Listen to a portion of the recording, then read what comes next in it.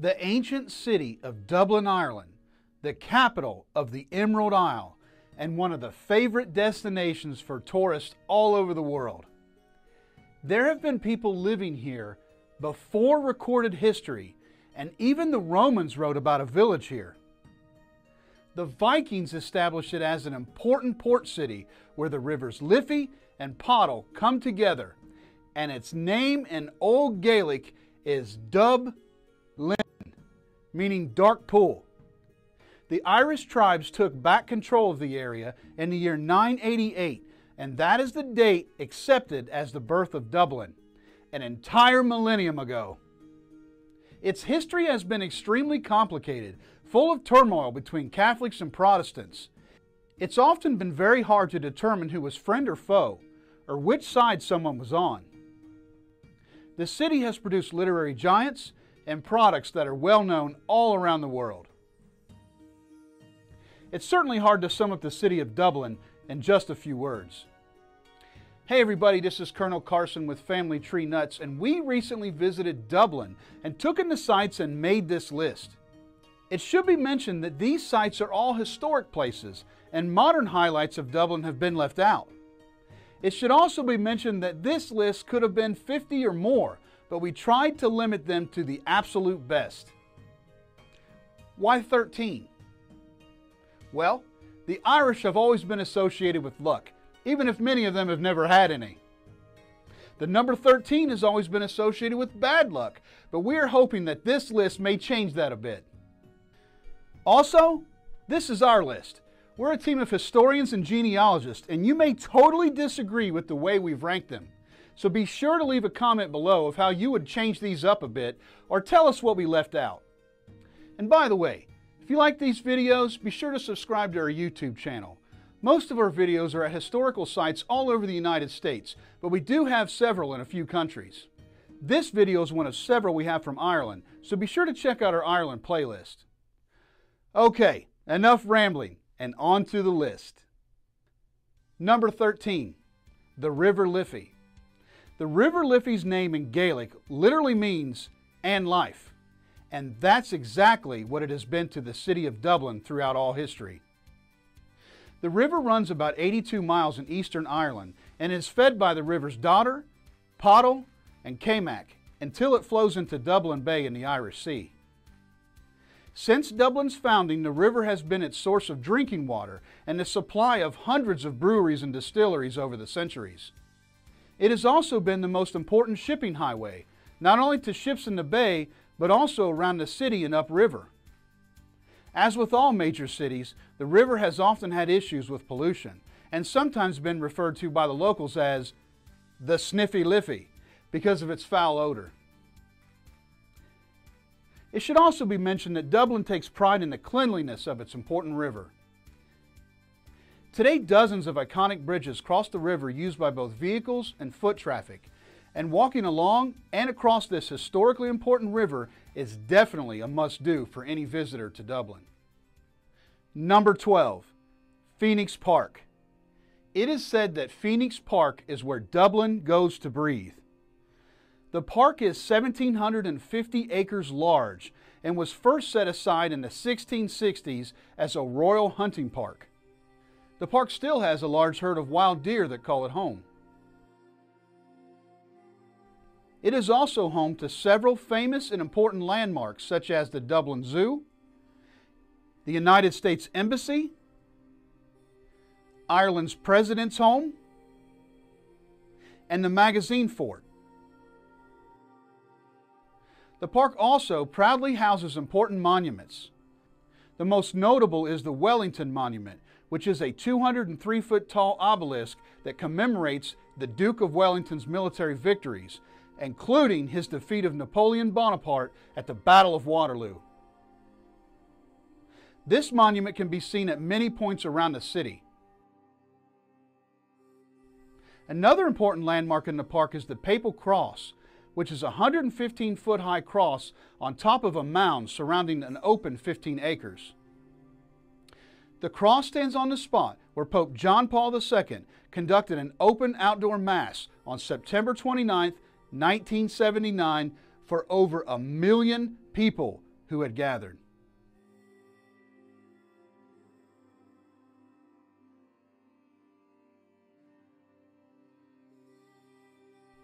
The park is open 24 hours a day and 365 days a year and is certainly a must see when you visit Dublin. Number 11, Dublin City Hall. This historic building was built in 1779 and served as the Royal Exchange. It began being used as City Hall in 1852 and remains in use today. What makes this site important enough to make this list is the action that took place here in the 1916 Easter Rising, which was the beginning of what eventually led to Irish independence.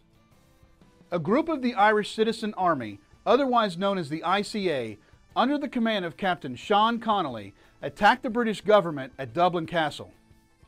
The group shot and killed Dublin Metropolitan Police Officer James O'Brien and took the guardhouse, but were not able to take the whole facility and were forced to retreat back to City Hall.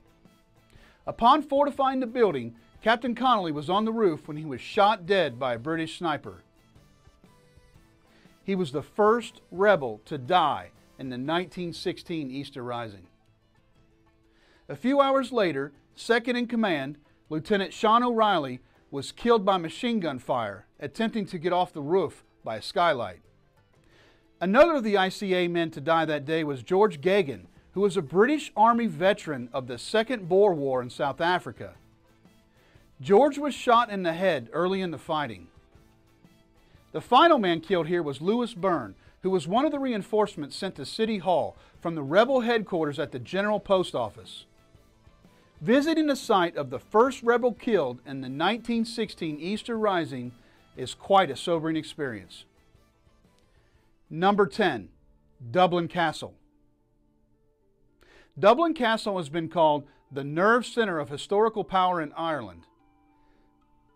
A place of military defense has been on this site since at least the time of the Vikings, over a thousand years ago. The castle began to be constructed in the year 1204, over 800 years ago, on the orders of King John of England. Yes, that King John, the brother of King Richard the Lionhearted and of Robin Hood fame.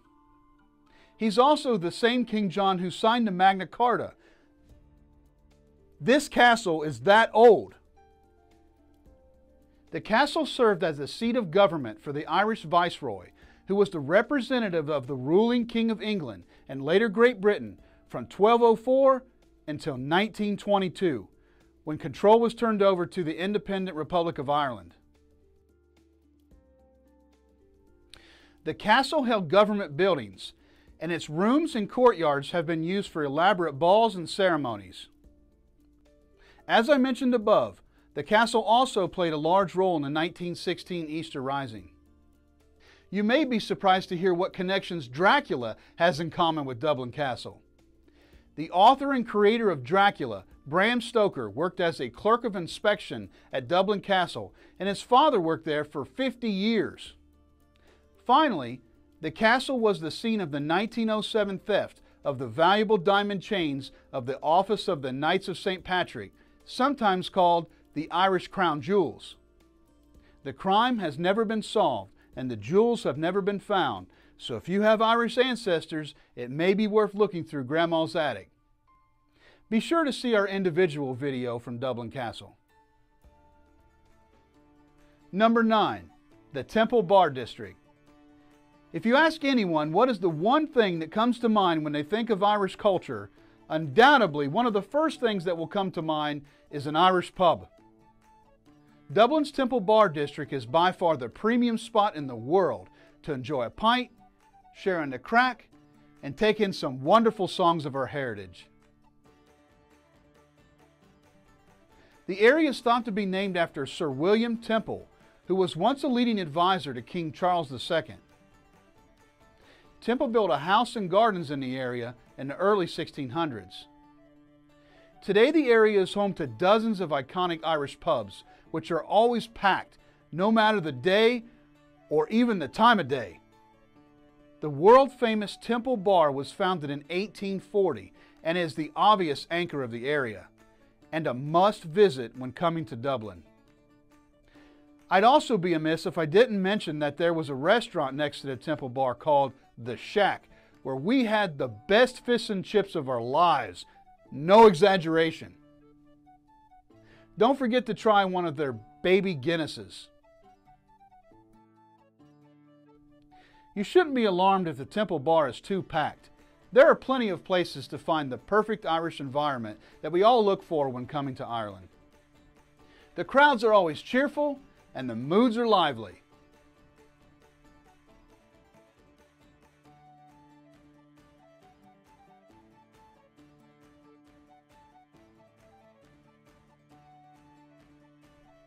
When it's time to finally head to bed, you can take in some of the beautiful lights on the River Liffey. Number eight, the Brazen Head. Since we are on the topic of Irish pubs, one should not miss a chance to visit what is said to be the oldest pub in Ireland, the Brazen Head. It is hard to wrap our heads around it, but this pub was founded in the year 1198. That's right, 1198. The pub sits on a small area where the original city of Dublin began.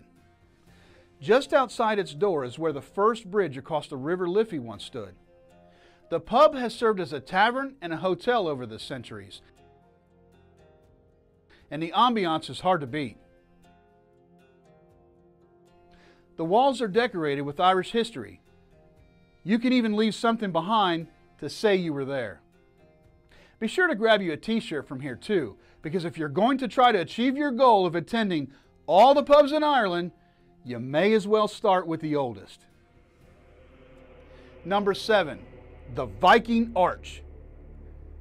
What is cooler than passing through a gate that was built by the Vikings? Just a stone's throw away from the Brazen Head is the St. Audoen's Church, which was built in the year 1300. Outside of the church is a park, and on the border of the park is the last remaining section of the city's wall that is said to have been built around the year 1100. Here you will see the last remaining gate of the old city walls. Some say that this arch is even older than the walls and was standing here when Dublin was still controlled by the Viking settlers, making it the last thing standing that was built by the foreign invaders. Be sure to use your imagination of all the people through the centuries that passed right under this arch, just like you can. Number six, the Molly Malone statue. Anyone of Irish descent worth their salt is familiar with the song, In Dublin's fair city, where the girls are so pretty, I first set my eyes on sweet Molly Malone. Sing along with me. Just kidding. I know how awful I sound, but I'm too Irish to care. The Molly Malone statue sits in front of the old St. Andrew's Church, which is now used as the Tourist Information Office. Some say Molly Malone is a fictional character and a representative of a group of women in Dublin in the 1600s called fishwives. Fishwives were the wives or daughters of a fisherman. These women were said to be gruff, unpolished, and foul mouthed. I think you're getting the picture, and perhaps you're thinking of some women that you know today that fit that same description. Molly was a hawker or a monger, which was someone who sold things from a cart on the streets. Hawkers and mongers of the time were often known to work at different trades on the street at night.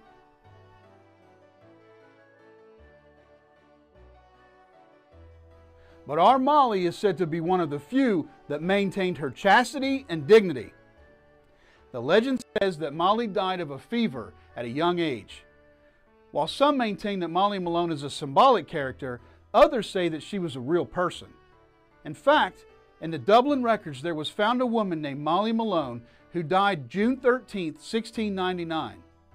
There is no evidence that this particular Molly Malone is the one that the song was written for, but in 1988, the year of the thousandth anniversary of Dublin, June 13th was declared as Molly Malone Day. The holiday has been celebrated in Dublin each June 13th since. Perhaps you will now celebrate Molly Malone Day too. Supposedly, it's good luck to touch her left breast. Or is it her right breast? Perhaps you should touch them both to be safe. Be sure to see our individual video from here as well. Number 5. Trinity College. Trinity College was founded in 1592 by Queen Elizabeth I, and until modern times it was for Protestants only. Trinity College is also referred to as the University of Dublin and was modeled after England's Oxford and Cambridge universities. Since its founding, Trinity has been the center of Ireland's history and politics, and to this day continues as one of the most elite universities in the world. The college is home to several items of Irish pride. One of those items is the Brian Boru harp, which is the oldest surviving Irish harp and the insignia of Ireland. It was once mistakenly linked with Brian Boru, the High King of Ireland who was killed in 1014 at the Battle of Clontarf in modern day Dublin. Also on display is one of the last remaining copies of the 1916 Proclamation of the Irish Republic. This copy was posted to the wall of the General Post Office at the start of the 1916 Easter Rising, which eventually led to Ireland's independence from Great Britain. Both the Brian Boru harp and the 1916 Proclamation of the Irish Republic are on display in the Long Room. The Long Room, which is also called Trinity College's old library building, was founded in 1732 and is in use to this day. The library is 65 meters long, making it the longest single room library in Europe. It houses over 200,000 of the college's ancient books and over 7 million pieces of printed materials. For obvious reasons, it has been nicknamed the Harry Potter Library. Be sure to see our individual video from here as well. Number four, the Book of Kells. Although the Book of Kells is housed at Trinity College, its magnificence is deserving of its own spot on this countdown. The Book of Kells was written around the year 800 and contains summaries of the Gospels of Jesus Christ and is written in Latin. It is ornately decorated with Celtic knots, designs, humans, animals, and mythical creatures. Its beauty has caused it to be called the work of angels.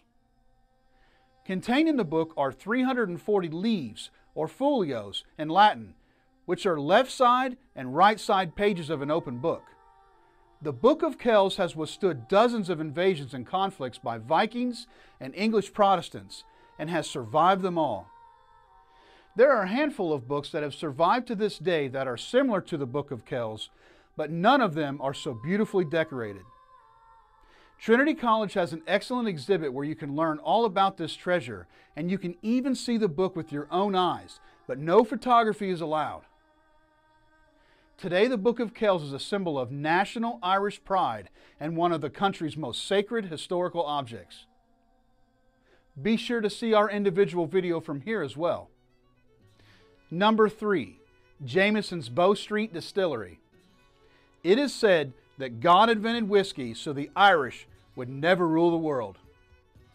The word whiskey comes from the Gaelic word that means water of life, so it is easy to understand how perfect the words Irish and whiskey sound together. Jameson is by far the most popular Irish whiskey in the world, and you won't want to miss visiting the Bow Street Distillery. The site opened in 1780, and even though the product is no longer produced here, you learn all about the long and awesome history the company has had. The Jameson family not only oversaw the whiskey business, but were also leaders in the community, including being High Sheriff of County Dublin. Here you can take a tour that covers the history of Jameson, how it is produced, and how the process has evolved. And of course, enjoy a sampling while learning about the different products that Jameson produces. Of course, at the end of your visit, you're welcome to visit the bar, decorated with the emerald bottles.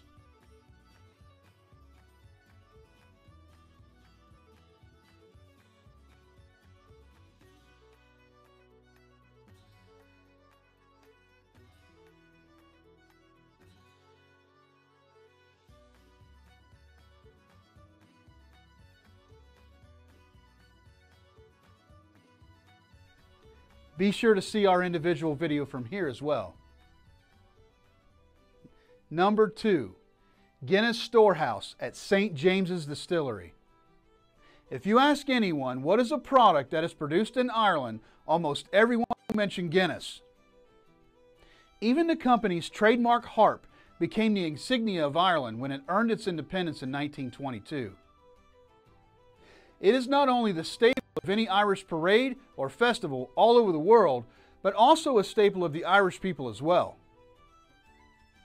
Guinness has been labeled as the number one beverage in Ireland, and it would be hard to find even a small town where you couldn't grab a pint in a matter of minutes. Guinness's association with Ireland is why you definitely won't want to miss visiting the Guinness Storehouse. Arthur Guinness rented this place in 1759 on a 9,000 year lease at 45 pounds a year, and here it is today. When you visit the location, you can go through a self guided tour and learn all about the company's history and how it was made. Guinness has always been famous for its advertising campaigns that have evolved catchy jingles such as My Goodness, My Guinness, and humorous situations with animals and people. Here you can literally get your face drawn on the foam head of a pint. How cool is that? At the end of the tour is one of the most popular spots in Dublin, the 360 degree gravity bar. Surrounded by glass and seven stories high, you can see amazing views of the city. Historical information is on the glass about things that you're looking at. Being able to see the city in such a way that once only birds could makes this stop a must when visiting Dublin. Be sure to see our individual video from here as well. Number one, St. Patrick's Cathedral. It is said that around the year 450 AD, over 1500 years ago, St. Patrick himself baptized Irish converts in a spring on this spot. This 800 year old cathedral has been declared the National Cathedral of Ireland, and with just one visit, and a little understanding of its history will leave you with little doubt as to why. The first documented mention of a church here was in the year 1178, but it was believed that a church has been here long before then. Construction on the cathedral began in 1220, and its history is full of important events from Irish history. It is estimated that between six to 700 souls are entombed inside or buried outside the cathedral. The walls are lined with monuments and statues of important people throughout Dublin's history. One of the most unique things about the cathedral is above the choir stalls are the helmets, swords, and flags of the Knights of St. Patrick. The cathedral was totally remodeled in the 1860s with funding provided by Sir Benjamin Lee Guinness, the heir to the Guinness Brewing Empire. During that renovation, the stained glass windows were added, as well as the medieval style floor tiles. Outside the cathedral is St. Patrick's Park, which holds the literary parade that was built in 1988, the 1000th anniversary of the city of Dublin. Along the wall are the shrines of 12 literary giants from Dublin, each of them having an impact on the world. Many say visiting this cathedral gives them the feeling of being in the presence of God Almighty. That alone makes it a place that you don't want to miss out on visiting. Be sure to see our individual video from here as well. So there it is. This is our list. What do you think? What did we miss? Do you agree or not agree with how we rank these places? please be sure to comment below. We'd love to hear what you think. And remember, Family Tree Nuts, let our nuts find the nuts in your family tree.